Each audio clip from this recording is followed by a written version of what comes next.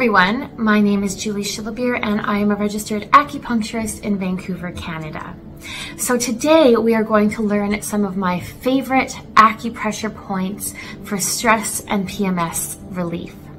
I just recently did a workshop on this at my community gym and it was so well received by all the women there, so I thought I would also share it with you. If you are wanting to jump right into the exercises, please feel free to go to them on the chapters you'll see on the screen. But first, we are going to go through an introduction of what stress is in Chinese medical theory, as well as some of my favorite tools that you can use for acupressure at home anytime you need. So in Chinese medical theory, energy stagnation is what we call stress. We call it qi stagnation. If you imagine all of the energy highways, the meridians that flow from the hands to the head to the feet, along all of these rivers are acupuncture or acupressure points. And if you imagine those whirlpools of energy, they can get stuck. So when we learn the correct acupressure points to remove stress from the body. What they do is allow for that flow of energy to move freely again out the channels. If we don't have any way of releasing the stress from the energy highways, then it can lead to illness. So these are some fantastic points that we're going to learn to really help prevent and stop the severity of illness within your body as you age when we are choosing acupressure points, since the energy highways go from the hands to the head to the feet, you can imagine that if you have a headache, we may actually use points along those energy highways, we call them distally, from where the pain actually is. So of course, the most effective way to work to move the stagnation out the energy highways is with acupuncture. But when you aren't coming in to see your acupuncturist, this is a way that will help prevent the buildup to be quite severe. Acupressure is easy to learn and it's free. So it's a wonderful tool to have in your home care toolkit that I recommend. So if possible, let's say you're at work and you're feeling a headache come on, it is wonderful to take a few minutes, close your eyes, take a few deep breaths, even have on some really relaxing music. And then when you are massaging the acupressure point, you want to use firm pressure and massage the point for a few minutes to really continuously activate the flow of energy once again through the energy highways. So when a patient comes in to see me for acupuncture or tuning forks, I will sometimes reinforce the treatments with modalities of acupressure.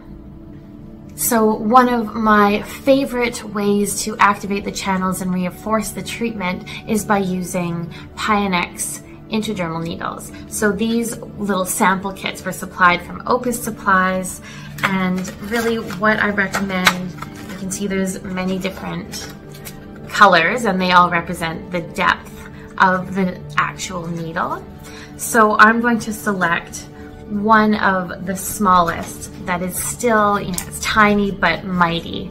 So what we basically do is just peel back and what you'll see is a little sticker and with that sticker, we have a little needle on the end. So let's say I have acute neck pain. Uh, one of my favorite points to use is right here. You'll be able to see my acupressure for neck pain video on my channel as well. But I'm just going to place and stick the little acu needle and this just goes with you the entire day. You can leave them on for a really long time because they're very high quality. So this is one way that I reinforce the treatments.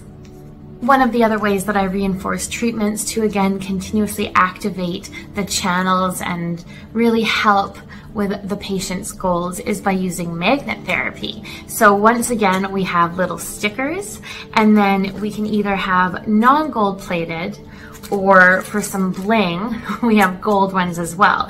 So really the difference is gold, I always like, like to think of as boosting the energy highway, tonifying the channel, whereas the non-gold plated is really for moving, uh, dispersing. So generally if there is stress, I would use the non-gold plated ones to move through the channels versus if there was fatigue in a patient, we might choose the gold ones.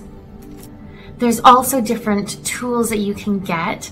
Of course, as a facial acupuncturist, one of my favorites is the gua sha stone, and it has different sides that you can use. So you might want to massage you can see here into yin tong. This is a really calming point and it feels so cool with the jade as well. So it's really nice and relaxing. And this is a tool that we use again for neck pain if there is any tension, we would scrape down the neck before then potentially needling it or cupping it. Another little trick is you can have a little ball and massage into an acupressure point. and this one here, it's from Spoonk Company. As many of you know, my favorite home care tip is using a spoonk mat, which is again an acupressure mat. This is another way to access the energy highways with different texture. And then you can even get fancy and use a beautiful amethyst gem. And you can see the shape of this is really easy for once again, we'll choose yin tong here really easy for massaging with a different type of pressure. And of course, then enhanced by the gem's properties. And with amethyst, this is really a calming stone. And then finally, what I use as a non-needle modality in clinic is tuning forks. And of course, this works with vibration that penetrates through every cell in the body and such a wonderful treatment for those of you who are quite scared of needles, even though I know when you come in, you'll really be surprised because they're not painful at all.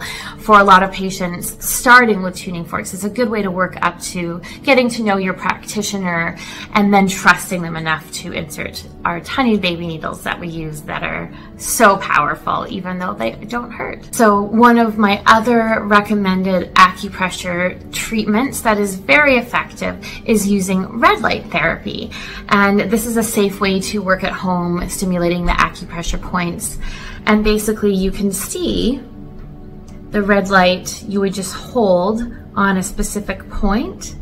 And again, for two to five minutes, just allow for the red light to penetrate through the meridian. So we're going to start with a lovely warm up that can also be utilized when you're at work or, you know, in a position where let's say you're traveling and you feel a bit ungrounded or more up in your head than in your body. Just imagine right at the bottom of the foot, poles that ground you to the earth. So if you close your eyes for a moment, take a deep breath, and even if you're standing, seated, or even laying down horizontally, imagine those poles locking in and rooting you with the earth. Even if you're up on the top of a building, the penthouse, you can still imagine this. And the more you practice it, the easier you can just very simply get into your body and out of your head. So let's take a few deep breaths. And just imagine connecting with the earth. The earth is the planet that is below us. No other planets in our universe are. So connecting with that will really bring us down to earth. Just like if we're walking on grass or walking along the water's edge in the sand. So really rooting and connecting with earth. I recommend doing this at the beginning of every acupressure session and sometimes during acupuncture treatment I'll recommend it to my patients as well. So next, a little Qigong practice is really warming up the energy, warming the Qi with your hands. And you can do this for as long as you want, but eventually it will get really, really hot which it is now, so I'm going to stop. Now, if you imagine between your hands, try to feel where the heat connects, almost like a ball. Imagine a ball in the center and your hands are holding it. just see how big you can make that ball. I can feel it to about here. Once we're done with the acupressure session, I invite you to then try again, and you'll probably notice your chi is greater and it's been built up from the treatment and activating the meridians. You can also do this technique to feel where your energy from your body ends. So for me, a lot of times it's about a foot and a half out from my body. That's where I feel the heat stop. So again, just rubbing your hands. Your feet are grounded to the earth and just feeling where that heat is.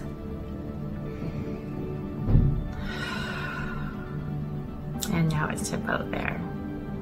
So our first acupressure point is on the large intestine channel and it's just right in between the web of the thumb and the index finger. Now I will say right off the bat that if anyone suspects they're pregnant, any woman suspects they're pregnant, do not use this point. This is one of the points that will help induce labor. So you can see why you do not want to use it when you're pregnant, especially in the first trimester, stay away from that area with massage.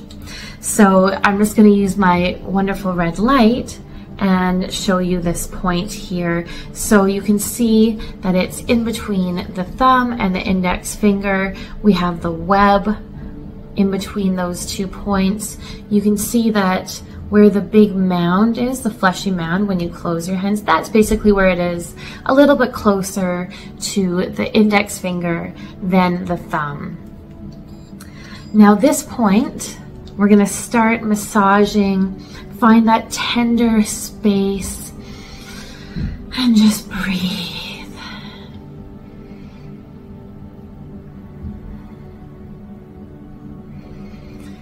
So this is on the large intestine channel, as I mentioned. So it's fantastic for any digestive concerns, uh, constipation, digestion, IBS. Um, really good for acid reflux as well.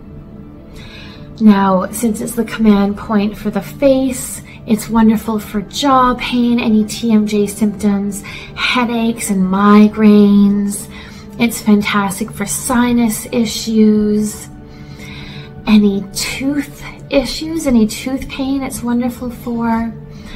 It's also fantastic for acne. You can use this point. I use it all the time in facial acupuncture and for any skin conditions.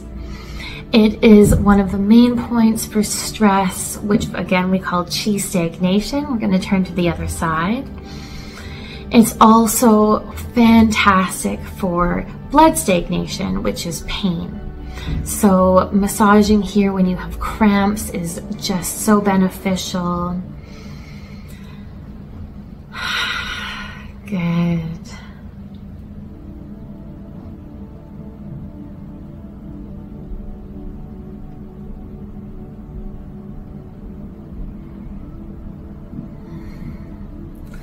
Good, so starting with the hand at this point, it's an easy one. It has so many indications and actions, and it's really all about how you combine it with other points to really treat your symptoms. Now, because this is a workshop for stress and PMS, all the points that I'm selecting are going to be really beneficial for these symptoms and everything that it encompasses. So the next point we're going to do is on the inner wrist and we're just gonna massage it with the amethyst here. So this point, if you imagine between the fourth and fifth fingers, just right in between there, you run all the way down to the wrist crease. This point we call Shenmen Spirit Gate. So you know individuals who we would call maybe have a Shen-less expression. Uh, their face is very blank versus showing a sparkle in their eyes, a glow to the face. That indicates good Shen in Chinese medicine. This point here is fantastic for really activating the brain with focus and memory. It is one of the go-to points for sleep, any insomnia symptoms, anxiety, fear. And with this point, you can really massage. I like to flap my hand back and forth. You can have some fun with this to massage into the area. And again, just taking deep breaths.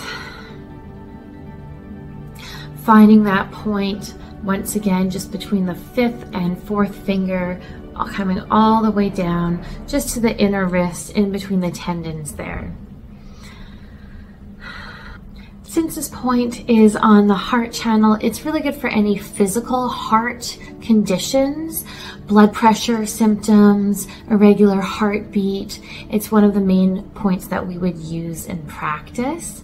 It really helps with clear thinking. So if you're going into a test, I remember when I was in Chinese medical school, I would always be massaging this point just so that I would be extra ready to get an A plus on my uh, test. So once we've done massaging this point, we can tap as well into the areas. You can do a little crisscross, tap right into that area. I always like to do about nine times on either side. Then we're going to flap your wrist back and forth on this side. Of course, it's really good for any wrist issues, any carpal tunnel or ulnar nerve issues. This can be really beneficial for as well. I can feel myself starting to get warm just with all of this improving circulation and moving the energy through the channels. I'm sure you can feel yourself starting to get a little bit warm as well. And that's what we want because we want to improve the flow of energy and you will feel it even in your first treatment. And that's what we're doing is we're improving the flow of circulation and chi through all the channels. So building that energy is going to really be able to help move that stress out of the body. So next we're going to come up to the head and I invite you to once again rub your hands together, bring all of that good chi that we've brought to the hands now up to the face. So this is another Qigong technique. We're going to wash the face and then cup over the ears after we wash the face three times. Cup over the ears, take a deep breath, and then to the eyes as well. And wash the face one more time. Here we go. Just gently washing the face.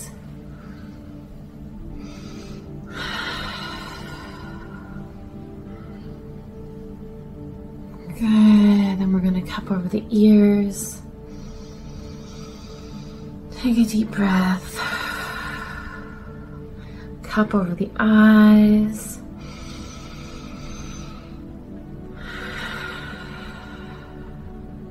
and wash the face again. So the next point we're going to do is Yin Tong. And Yin Tong is known as the third eye chakra. This is a place where we hold frustration and irritability, and over time, those emotions can be etched in the skin, and we may see frown lines. So if we see one line, it really has to do with pushing anger down and not really dealing with it on a regular basis. Um, and then if we see two or more lines here, this indicates some stagnation in the gallbladder channel, some heat and dampness in the gallbladder channel, but it isn't as deep as if we would see one line. So how I like to start working here is just taking the index and middle finger and just spreading from the center out to the eyebrows nine times you can see when people are stressed, they actually come into this area or into the eyebrow and massage the emotion out. It's something we do just naturally. Good, and then what we're going to do is circle nine times clockwise. And then nine times counterclockwise. So this is a point we use, it's a great acute point for insomnia. You can probably feel your sinuses start to open, so it's wonderful for that as well. But we are releasing those stress emotions when we're working here. And another way that I like to activate this area is with the active release technique for the corrugator muscle because we're here right now already. We may as well really release the tension from that muscle and help prevent any frown lines. So what we're going to do is we're going to come into the medial eyebrow and we're going to frown, but we're going to hold our index fingers out so we're not actually letting the muscle do this. So you'll see we're gonna hold, even though I'm trying to frown, I'm not letting myself, we're gonna hold that for a few seconds, relax. Again. And one last time. Good. And this is really good for any computer ocular stress syndrome. It's wonderful to do when we are looking at the computer all day, getting any dry eyes symptoms. It's also on the bladder channel. And the bladder channel we call the Tai Yang, the greatest yang. And it has 67 points all along it that run basically from here all the way down the back, back of the leg, and out the fifth toe. So we're really then also activating all of the, those tense places where we hold stress into the neck, shoulders, back, bum as well, because a lot of people have a tight ass and they hold a lot of emotion there as well. So now we're going to move down to the lower legs and I'm going to be putting a couple of photos up for these acupressure points. It will probably be easier for you to find them. And of course, not having anyone to help me video, it's difficult. And of course, I will also show you as well. So what we're going to do is just, with our hands, we're gonna cup them and just pat down the sides of the legs, the outside of the legs. We're gonna do this a few times. We're going to cup down the gallbladder channel, one of the main channels that we hold stagnation. And then gallbladder 34, an amazing point just on the side of the leg here, right here. So you can see from the tibia and then the fibula, which is this bone that runs along the side, the lateral outside. You can feel a little notch as you run your finger the front edge of that bone to here. So this point is an amazing point for any digestive issues like acid reflux, nausea, indigestion. It is so effective to help with stress leading to the symptoms of PMS, any pain symptoms, it's really beneficial for. It's one that I use for sciatica. You can imagine the sciatic nerve actually runs all the way down the side of the body here. So again, this point, it's closer to the knee on the outside. And if you come from the knee border and run your finger down, it's that first little indent. Coming in the sides of the legs all the way down, we're going to slap and wake up that circulation. This is activating the gallbladder channel, which is one of the ones that we activate with the Qigong that I have on my YouTube channel. I will link that below. So once you've done this about nine times, you'll be doing it on both sides, of course, at the same time. Then we're going to come into gallbladder 34. It's on the outside of the knee area right below. If you imagine we have our fibula bone right here, it's just right in front. You'll feel a little notch there, not the tibia, not the bone that comes right up the front, but the side. So again, if you have the knee, you run it along and then feeling that little notch right here. So gallbladder 34 is an amazing point for any soft tissue injury. And it commands the tendons. So it's really beneficial for how stress affects pain in the body. It's so effective for energy stagnation that leads to any digestive concerns like nausea, indigestion, gallstones, even jaundice sciatic pain, and you can imagine the sciatic nerve runs all the way along here. So treating this point, it's extremely beneficial to reduce that. It's also beneficial for any lower back or hip pain, temporal headaches, trap tightness, and then of course you can imagine the IT, the iliotibial tract that gets tight in everyone. This is a really beneficial point for. So once we've massaged the gallbladder channel, we're going to run our hand down the side where we were cupping, just bringing all of that stagnation out the body. So the next point we're going to be working with is liver 3, Tai Chong. And just like Hegu, large intestine 4 is between the thumb and the index finger in the web, Liver 3 is located between the first, the big toe, and then the second toe in the web as well. So, liver 3 is one of the best points for bottled up emotions. So, any irritability, frustration, anger, you know, if your partner or loved one is really having a bad day and they're taking it out on you, just offer them a foot massage and really focus on this point to help calm them. So with this point, you can circle one direction again nine times other direction nine times.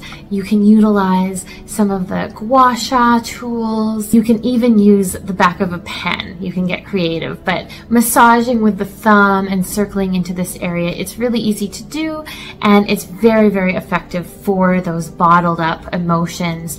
You know, during PMS, when you just are frustrated and shaking your fist at everything get to this point and you can see why in combination all of these points are so beneficial for PMS. This point moves the energy and blood circulation through the entire body. So once again, any pain symptoms, any head pain, any PMS, it's one of my favorite points for acid reflux or hernias, lots of digestive symptoms where the liver is overtaking the stomach or the spleen. We see a lot of symptoms in the digestive system. So that's why a lot of people, when they say they're stressed, you can see them reaching for antacids. So once again, doing acupressure under these circumstances can really help prevent the symptoms from getting worse if you start to do this when the symptoms just start coming on. It's also wonderful for any high blood pressure symptoms, any dizziness, red eyes. It's really beneficial to bring down that liver fire. So together, liver 3 and large intestine 4, we call the four gates. And these gates unblock all the stagnation through the entire body. So together, the actions and indications of symptoms is very high and can benefit everyone. However, I will note that once again, it's not safe to do while pregnant. So just please exercise caution if you are using acupressure on a friend to just double check that there's no chance of pregnancy to be on the safe side. So the last point that I have that I want us to do is called the Sea of Chi. And it's just right below the umbilicus, just an inch and a half or a thumb and half a thumb below on the midline. Now, this is one of the most beneficial points in the body to build energy, but if the energy in the body is stuck, how can we replenish it? How can we build new chi if it's not moving? So together in combination using gallbladder 34 just by the knee, that point along with Chi Hai Ren 6 is extremely beneficial. Ren 6 is on the conception vessel, so it's also very beneficial for any fertility concerns. It's fantastic for any men's sexual health symptoms. And really, one of the tips that I learned from my mentor is that in Japan, they actually use a hair dryer and get into this area. A lot of times it's cold, so you can actually use a hair dryer every day and just warm it up for a few minutes. While you're doing that, though, I would suggest also getting into the lower back around that same area. So coming into the umbilicus, my umbilicus is just right here coming into the umbilicus. My umbilicus is just right here. So once again, we can take about two finger breaths or a thumb and a half right below it and massage in here. You're also going to kind of make little cups with your fingertips and just massage side to side, kind of coming in to that area.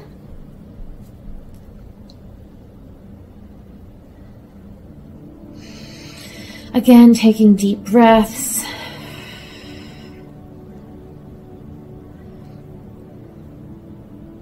You can also do some little fists into that area.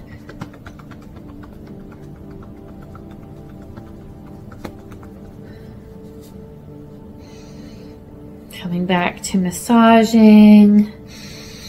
Good, and to finish, once again, we're going to warm up the hands. Continue to ground from the bottom of the feet to the earth.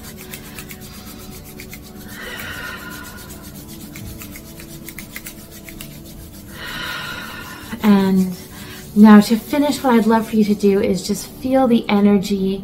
I can actually feel my hands tingle after doing all of these points. And what was interesting is after the workshop I did at my gym, my next uh, cycle, I didn't even know it was coming because I had virtually no symptoms. I only knew because of the time of the month, but it was incredible, even just really practicing to do the course and then throughout the course, um, I would say I'd done them about four times for a good probably you know half an hour at a time. It was incredible the benefit not even from having acupuncture. Um, but i would encourage you to learn these points and still have treatment because it will be so beneficial on so many levels to help with your symptoms so now you know if yourself or a loved one or a coworker starts to have a headache, how to help them, starts to have stomach issues, how to help them, and really you'll be the life of the party. so it's very important to have lots of water after doing a treatment like this on yourself and perhaps take a moment to lay down, breathe, and thank yourself for doing one of many future acupressure treatments on yourself. If you have any questions, just leave comments below and I'll see you in the next video.